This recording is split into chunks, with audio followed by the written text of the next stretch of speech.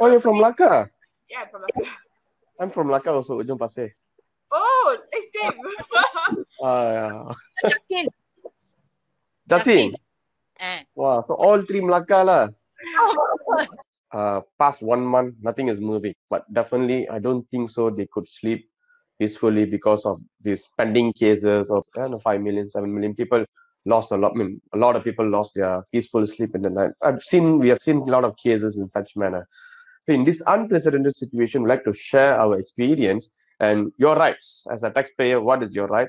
As per the act, what you should do and what are the techniques? I mean, what are the tools that are available? What type of rights that you can exercise on timely basis, and make sure that in future we could reduce the risk on a for a to a decent sum or to a decent percentage.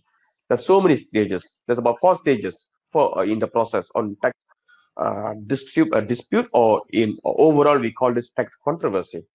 What is important here is day one, the stage one, step one, what you did. Yeah.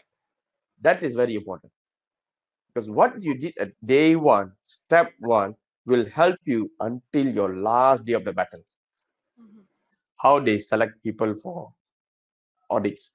Specific industries, sometimes uh, they will go on specific industries. The most common one is F&B industry, now construction industries.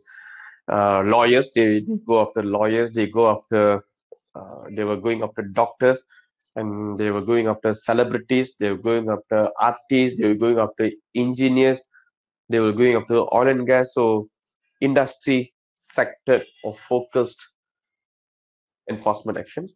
For companies that have undergone voluntary disclosure, will IRB still monitor them for the next few years?